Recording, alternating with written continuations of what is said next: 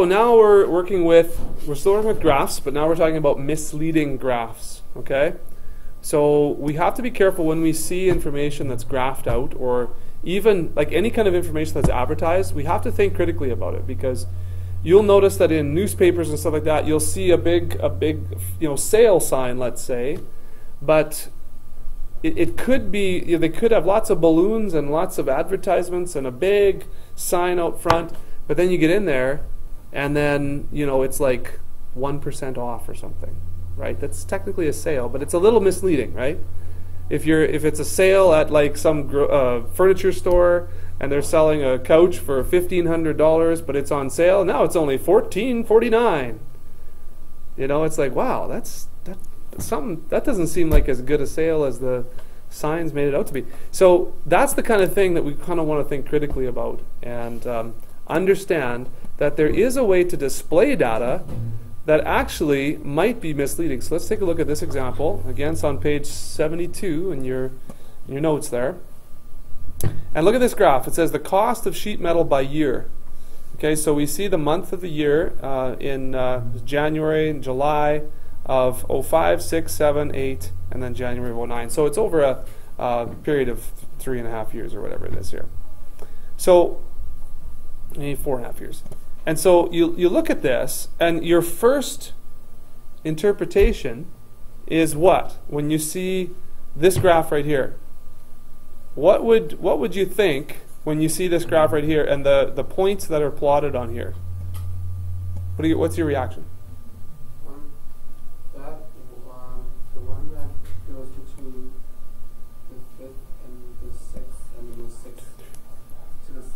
Isn't Okay, so you're talking about this right here? yeah, I think Okay.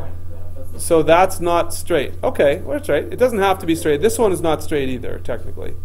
Okay, so that's you noticed that first. Okay, good. That's a good.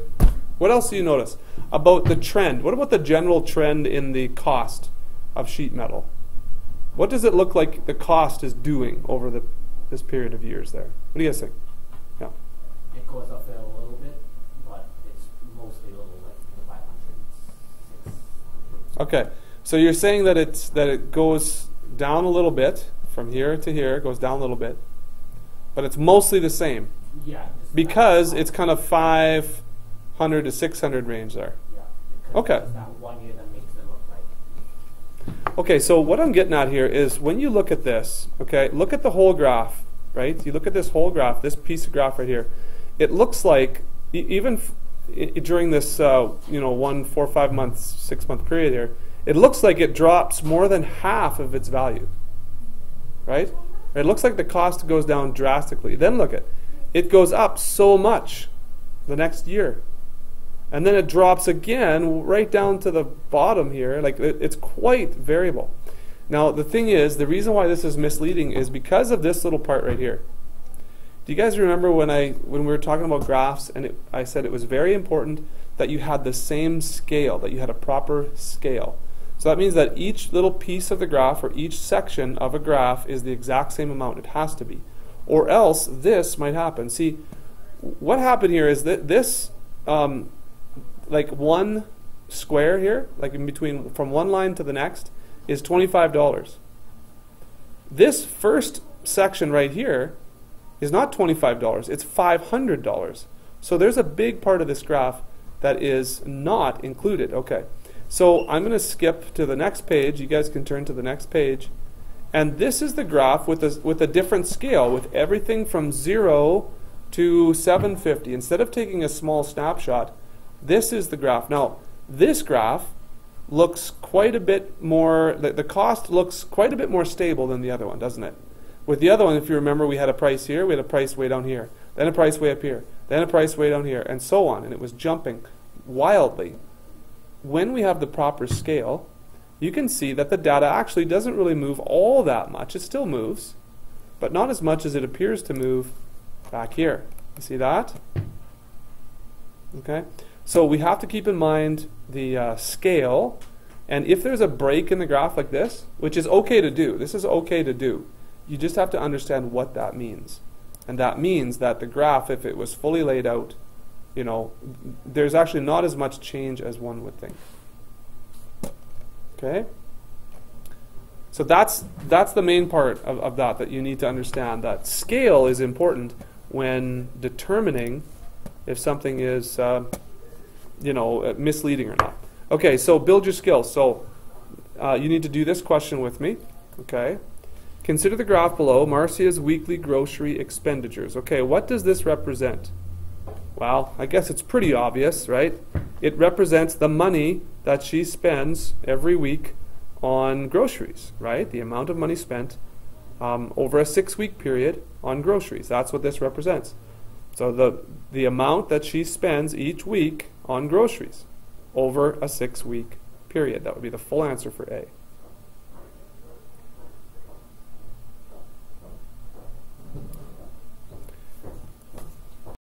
what's the general trend of Marcia's weekly grocery expenditures? So what's the general trend? We start down here, and then towards the end of it, it looks like it is what?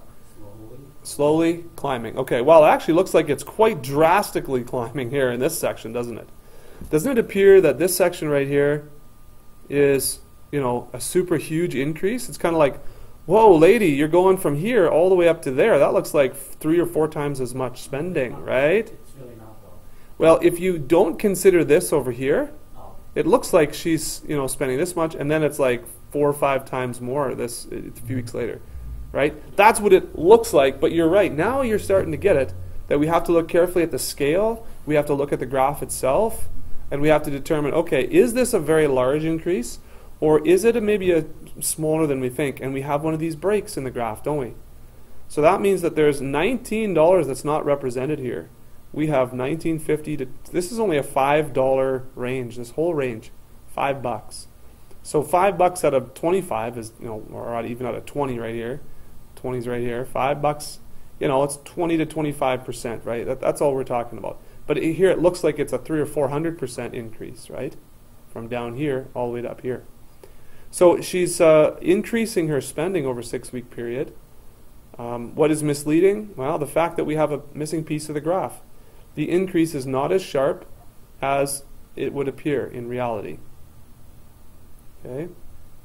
The increase is not as sharp as in reality.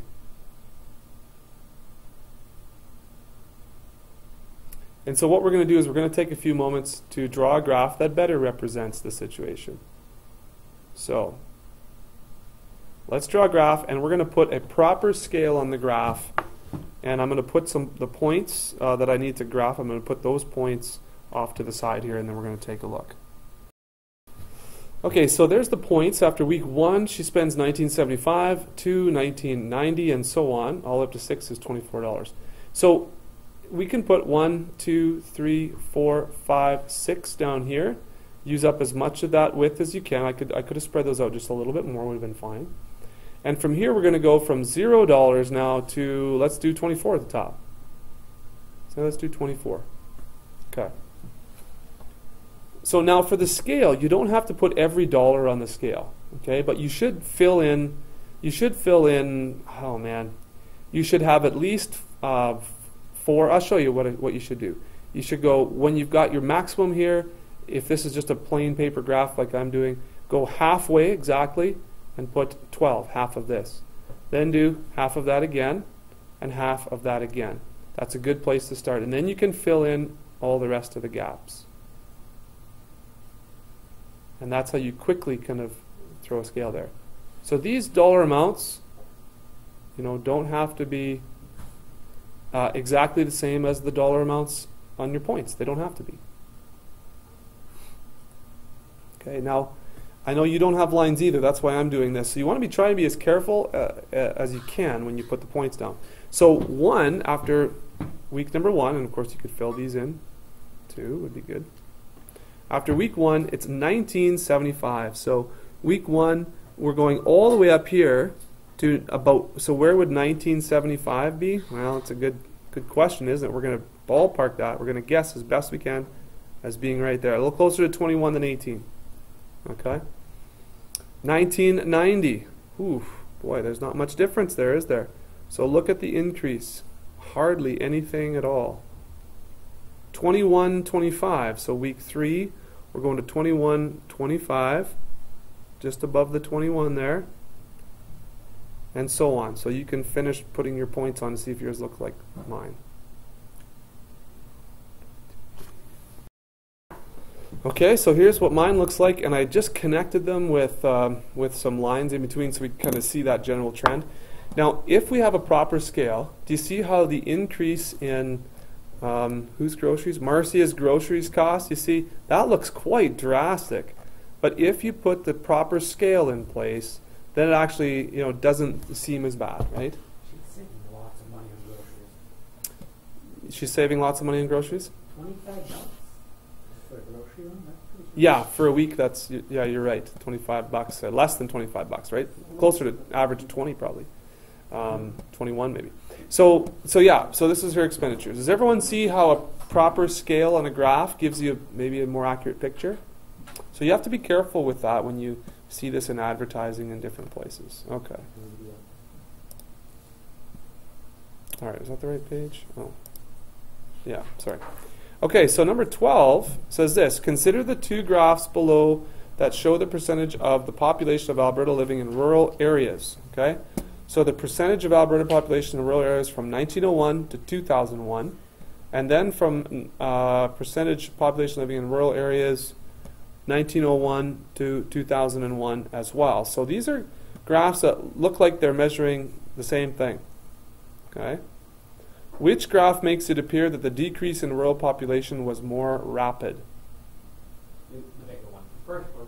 Oh, wait, yeah, yeah. Okay, the first one or the bigger one? Which one do you think? Okay. First one. Okay, the first one appears that the drop was more rapid. Look at how steep these lines are compared to this looks like a pretty gradual kind of decrease, doesn't it? Look at how smooth that is.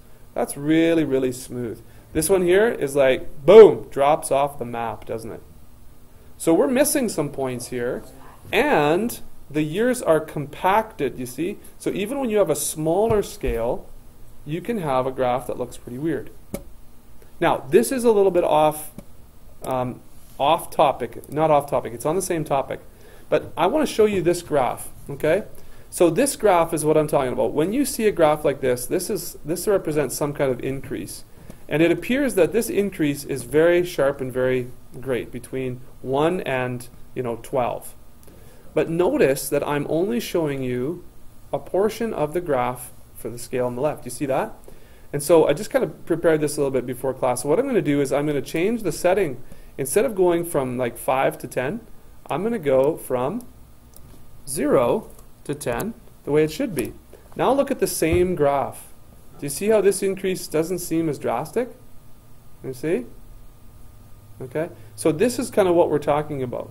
Uh, if we had that same drop as in, you know, back over here, right? And if I squished those up even more, it would look like almost like a the line's going straight down. Like, whoa, we're in big trouble. It's a marketing trick. Yeah, it is a marketing trip, it, trick. It's an advertisement sort of ploy to um, sort of bend the data towards you know someone's personal agenda. Really, I mean, it can be used that way. So you have to be careful.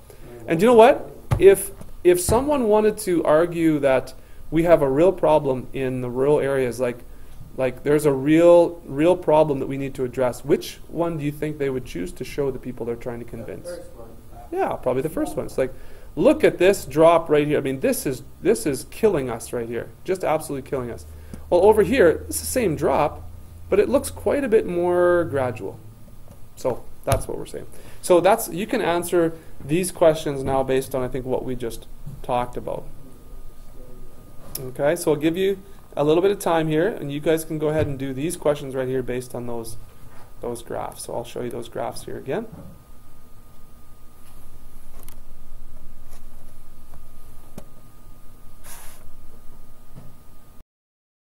All right, so it looks like most of you are down here. So let's just go over this real quick. So we talked about A and, and B, I guess, right? Um, graph one appears that the decrease is quite a bit more rapid because it's steeper, right? It's, it's, it's squished up a little bit. The width of the graph is smaller. Um, maybe an actual better uh, representation, uh, the actual change, probably graph two because there's more years that are represented. There's more data points, and that's the big thing. There are more data points, which you should make sure you have that. More years represented, more data points, because that's the big thing. The more data points you have, the more accurate you'll be because we've skipped a lot of data points here in graph one, right? Okay, so C, this, these are the numbers that I have for C. Yours should be pretty close to this, um, but they may be slightly, slightly different. Use the graphs to interpolate what percent of the population was rural in 1916. Okay, 1916. So in graph 1, 1916, I tried to find where 1916 would be, right about here. And I went up there, it looks like about 64 or so. 1916 here, with this graph, is barely over 60. So you see how you'd guess maybe 62 or so. So right away, um, when we interpolate and when we look at these graphs, you know, we're not getting the same sort of um, picture. In what year was the population half of the rural? Well, in graph one, it would be about 1950 was my was my uh, best guess there. And in graph two, it was definitely uh, later than that. It was 1953, and I can show you my work there. So 1953 here, um, that was where it was right here, uh, 50%, and then 50% over here was you know 50, 51, maybe even 49, depending on how you look at that. Okay. And then use the graph to extrapolate what percent of the population will be rural in 2011. So again, with this graph over here, without as many points, it, it's steeper here, but it's also flatter here. Uh, actually, sorry, no, it's steeper here uh, as well. So this decline will seem greater. And I put about 17% maybe in 2011. And uh, over here, it looks like it's really close to 20, so maybe 19% in this one. Now, if you had slightly different numbers, that's fine. The, the point is, is that those numbers are going to be a little bit different if the graphs are shaped a little bit different. And if we're missing data points, we can actually take a 20-year trend and apply that when really we should be, we could be taking only a 10-year trend and being a little bit more accurate. Okay, so does anybody have any questions about what we're trying to learn here with, with uh, the differences in these graphs? So more data points, is that more accurate or is, uh, is it less accurate? More data points is More accurate. Okay, good. Um, an even scale, a, a full even scale, is that more accurate or less accurate? Or should we take a chunk of the scale and just show a part of it? The full, yeah, the full value, the full uh, proper um, uniform scale. Okay, good. You guys are getting it. All right, so that's the lesson on the third part there for 2.2.1. Uh, 2.1. and you're going to be now practicing your skills. So you guys can start on these questions here and do these on your own and look back to your examples. And uh, I will help you kind of periodically if you need help. But here are your questions for your practice your skills. Can I roll Washington? Yes, if you need to, but make it quick. Make it quick. I got a question, but it doesn't really matter. Is that okay, do you want to ask it later? Later. Okay, get started on number one there. Yeah.